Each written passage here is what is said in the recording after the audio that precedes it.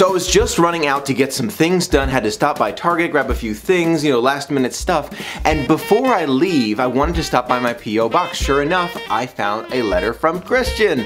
Christian, thank you so much for sending me something. I really appreciate it. Look at how well this was decorated. Look at the stickers here. Frozen sticker. Look at these great, great stickers. If you'd like to send me mail, I'd love to get it. I promise I'll open it up on camera and display my reactions to it when I open it up. Let's hop in this one and see what we have. I feel bad opening this one with the scissors. I can see like I'm not cutting into the paper, but it's so well decorated. Christian, great job here. Oh, look at that. Oh, cool, Shanghai Disneyland guide map. You know, I have never been to Shanghai Disneyland. I'm, I'm guessing there's a message here, Christian. You want me to go review it?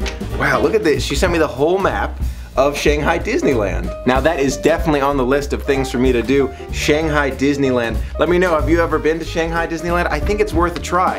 I think I'm gonna have to try it one day. I'm gonna take a closer look at this one in a minute. Also, a very cool Toy Story Hotel envelope. Look at the great theming there, the Toy Story envelope with the clouds on the back. Very cool. Okay, what else do we have in here?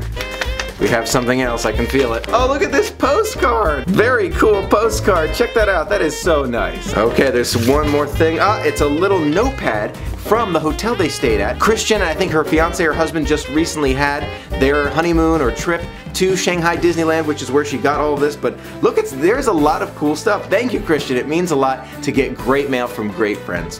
Thank you as always for being a part of the magic with me. Until next time, have a magical day.